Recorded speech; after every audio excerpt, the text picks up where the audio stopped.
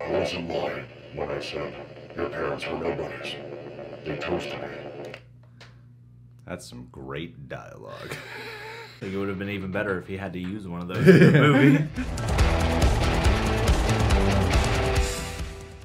This is going to be fun. You just know it. When How It Should Have Ended has put together one for a heavily debated film. Star Wars The Rise of Skywalker. Can't wait to check this out. Bye bye. It's going to be a feature length episode. If you guys haven't seen our non spoiler review for Star Wars The Rise of Skywalker, there's a little opening sketch there, and we did a spoiler talk going over all the problems we have with the film. Overall, I'm at like a 60% with this movie.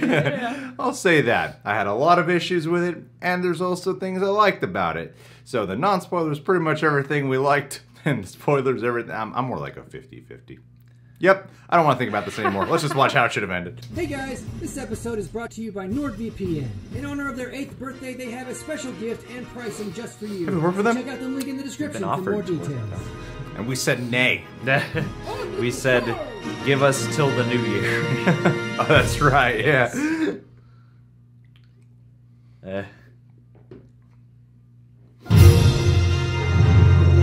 Slight rendition so they don't get copyright.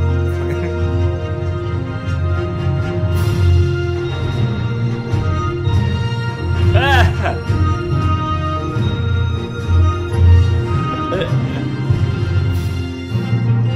killed Snoke. I kill you, my boy. I made Snoke. The might of the final order will soon be ready. It will be yours if you do as I already have everything I need. I'm Supreme Leader, duh. But I will give you new ships, hidden beneath the ice. Hmm, complete with red helmets. Ooh, red helmets, so scary, makes them so much better. We also have Death Star lasers. Is that is that enough? Come on, man. Oh no, we're sinking! Yeah, if only one of us could lift heavy objects. Wait, I never told you. Force! You saying? Nothing.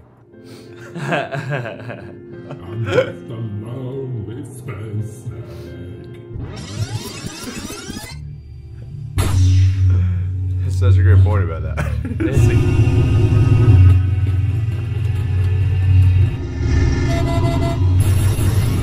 Rey!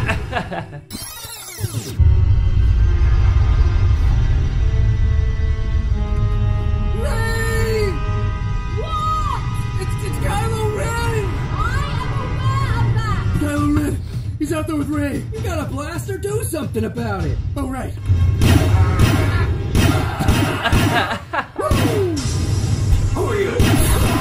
Chewie, you're safe! Oh, he's not even here. Ah. Rey! They got Rey! The other ship! Okay, Finn. Thanks. oh my god. Taking one last look, sir. so funny. There's R2, Chewbacca, I know. Mr. Luke, General Organa, and Lando Calrissian. What, not us? Maybe. Oh goodness, of course not you. I hardly know you, and most of the time you're rude to me. If I weren't such a good companion, I would delete that stupid Sith translation right out of my memory banks out of spite. Yes, you know what? Let's see how you like it. Oh, no. Just to see how far you get without me. I am C3PO, human cyborg relations. Peace out, Panthers. Hey! well, poodoo. Sir, an assault team has landed on our hull. Jam the speeders. They aren't using speeders, sir. They're using space horses. Really? Now this is pod! Come on! Ah.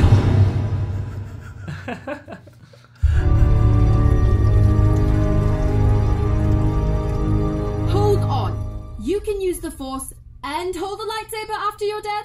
Yes? Why? You are coming with me. What?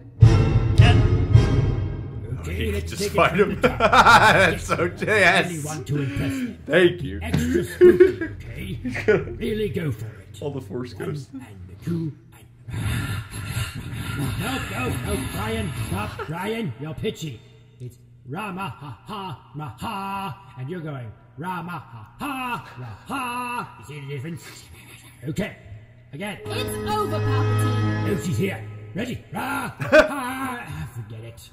Ruined my entrance, Brian. You don't just get to show up at the last second and take back what you already lost. Oh, I'm afraid I can. If you strike me down, my spirit will be passed on into you. what a conundrum. Oh, I'm not going to strike you down. They are. Hello there. Well, well, well. What's up, Palpatine? You're more shriveled than I expected. Sam Jedi spanking will you have? What are they going to do? Nag me to death from beyond the grave? I'm with you too. hey guys, sorry I'm late. I am not concerned about two self-proclaimed Jedi and a bunch of ghosts. You get a lightsaber, and you get a lightsaber. and you need a lightsaber, and you get a lightsaber. this? How are you doing that? I'm using the Force to grab objects anywhere in the universe. I'm surprised you didn't oh, know that was possible. Well, that is just stupid. I suppose next you're going to tell me that I can use the Force to heal wounds. Oh, you can. My granddaughter is so powerful. You have a granddaughter? No, you stop it right now. so exciting! We gotta tell everybody! Hey, Sith spirits! Ignore him. Have you heard the news? Palp is a grandpa! Shut up. Palpatine got busy? I don't want to think about it. Uh, you know. Hmm. Lost their touch, someone has. this has gotten ridiculous. Jedi Hub. We're taking them together. Going after beat down. No, I'm taking him now! Anakin, no! Wait, what, what are you doing? Put me down! Ah! The Jedi are taking over! Sith spirits, do something! Blast it, Brian! Execute order Holy Ghost splat!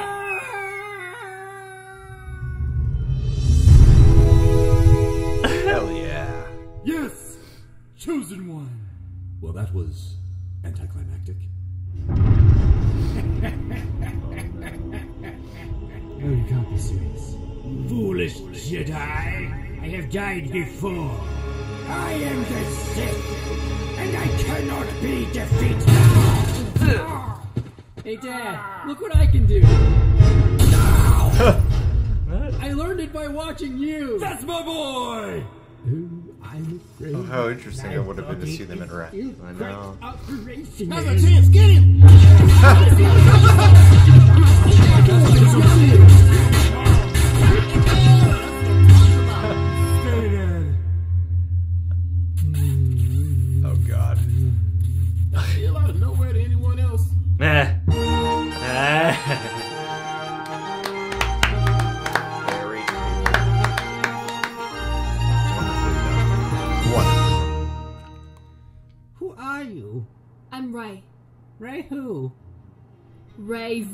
of the Sith! Bow before your Empress! Dark side! And that is what happened.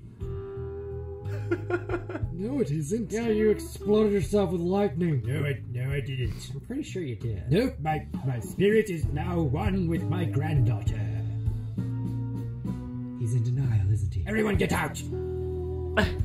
Hey guys, thanks so much for watching, and thank you again to NordVPN for making this episode. You're welcome. Yeah. If you want to protect your data from the dark side, then a VPN is important. If you don't know what a VPN is, to oversimplify it, they basically shield your data on the internet by encrypting it.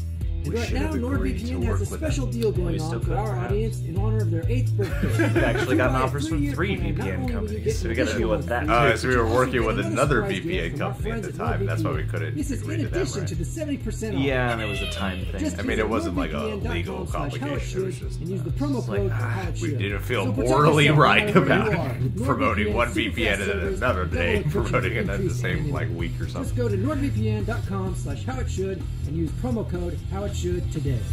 Okay, that's all for now. Thanks again for watching. We'll see you next time.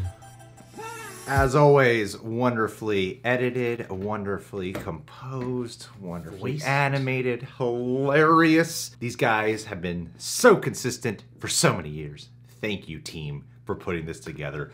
And once again, on top of being hilarious, you've also made some great points. Hmm? I actually haven't heard that point, that suggestion or idea that you bring up in the opening scrawl of they should have teased Emperor Palpatine at the end of The Last Jedi.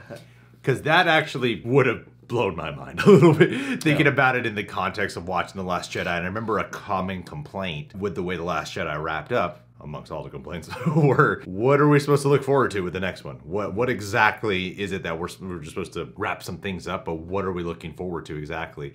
And if they had teased that at the end, I think we all would have been very much in like heavy anticipation for a couple years. Ooh, what's this throne gonna be? How's he back? That would have really enhanced the anticipation experience mm. and maybe done some numbers for Rise of Skywalker a little bit more. Because I, I did listen to that whole Robert Meyer Burnett leaking the Colin Trevorrow script thingy. Mm-hmm. And so yeah, the presence of Palpatine being fully resurrected wasn't a part of that original draft apparently. So I get why it wasn't in the Last Jedi script. That being said, yeah, that would have been a better idea. Uh huh. Oh yeah, I And agree. that's, and that's a great point about the anticipation alone, because yeah, that is true. Is like the Last Jedi, for better or worse, you know, does sort of stand on its own, especially with the amount of departure they wanted to take. I feel like that could have Yeah. been a good connective tissue. And I think one of my big complaints with the way Rise of Skywalker especially handles the Force is it seems to be a solution for so many things when it's required to for the plot. But not other things. That's why I love when that. it's quick- clear yeah. that they could be.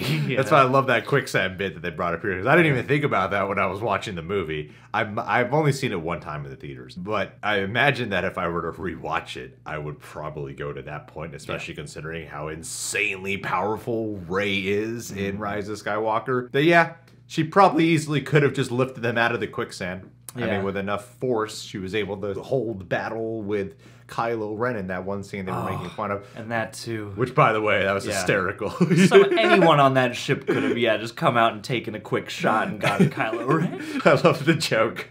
It's so true, and it was a common complaint of yelling Finn just Rey. yells all this whole movie, just stands, nothing in his hands. Rey, Rey, you have a blaster, dude. Shoot him. That was so I funny. love the way they handled him in that entire sequence. yeah, that was just great comedy. That was hilarious. Yeah, well, and the, and the 3PO bit is something that I thought of from the very first trailer. I was like, yeah, I know that we have been along with this ensemble, but I feel like 3PO has much closer friends than any of these characters. I love in the notebook it said maybe next to Poe. yeah, yeah, yeah, yeah. And then the whole thing about deleting the message and everything, which I don't think any 3PO would do. I don't, I don't think he would do that. That's such a solid because that is something that has crossed my mind about the Force Ghosts, hmm? especially in this one. In Last Jedi with Yoda setting that thing on fire, and then this one with Luke, Luke and the X catching the lightsaber, Yeah. lifting the X-wing. Clearly, these Force Ghosts have the Patrick Swayze abilities of a ghost. so why aren't all them just helping out, going into battle? Yeah, that's a great point. That's not established in the original trilogy. Mm-hmm. So in this new trilogy, they're showing these Force Ghosts can do all these things. And I do think in terms of cameo, because some Star Wars fans loved like hearing the voices of Ahsoka Tano, characters from the Clone Wars or Rebels, because they're like, oh, it's officially canon and- and definitely tied in with the movies. But it would have been so much cooler to see all of them appear. Just generally speaking, I would have been down for that. Would I have wanted them all to fight Palpatine? No. No, they just could have stood in a circle around as Rey does it. You know? But they could have, and that's the could've. point of this how it should have ended Yeah, video yeah, yeah. is why wasn't that even brought up at all? Like it was a possibility that I don't think the movie was even aware of. of that's what I mean. I think the rules are not really well defined in this movie mm-hmm. in terms of Force Ghost, the Force in general, and I think how it should have ended is a great job at poking fun at these holes. Yeah, because it really does seem like over the course of at least the new movies that the Force does become this nebulous thing. As soon as there's a challenge that seems like it could be met with the Force, it seems like they write it in that way. But I haven't gotten the complete sense that anybody who's written these new ones has like a set of rule. You know, just like a page of like here's the basic abilities. Here are the the theories of how this ought to work, and take that and go with it. Yeah. The Force is uh, uh, weird. it's a weird fix all. And then yeah, to introduce so many cool ideas in the Rise of Skywalker, having that thing where they're able to like grab the lightsabers when they're mentally connected or whatever. It's like they introduce these things that are cool, and then they don't quite use them when they could be very significant to the plot. So uh, this is pretty sharp. Yeah. Yeah, this is really funny. This is really fun. But the movie is fun. It's a great time Yeah. watching it if you're not that angry about everything happening. All right, all right, guys, what do you think of this? How it should have ended? Which points do you most agree with them on? Leave a comment down below. Subscribe to the Reel Rejects and click that notification bell to get accepted into the Reject Nation. And hey, last but not least, let's end this with a Michael B. Omni Media. How you doing there, Michael?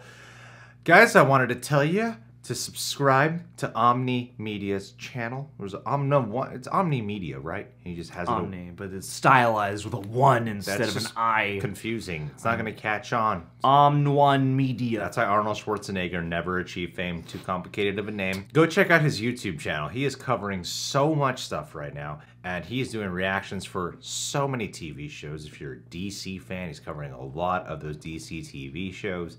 Uh, Doctor Who, so many different things, and he is killing it in the game. He's almost at 2,000 subscribers. He's like he was a slow growth, and then lately he's just been blowing up. been popping off. Make sure to check out his channel as soon as you can because he's just a very sweet gentleman who loves to send me very long messages on Patreon. And if I don't get back to him within a day, he sends me another extended monologue uh, due to his impatience. He's a really agitated, obsessive, rage filled individual. And uh, I'm a people pleaser. So it really works on my guilt. Sounds like a great relationship dynamic. So, Michael B., you're making it happen, buddy. Yeah, man. You're killing it on YouTube and you're manipulating me into responding faster. I love you. I love you too. Keep it up. You know, keep get him into place. Shape him in your image.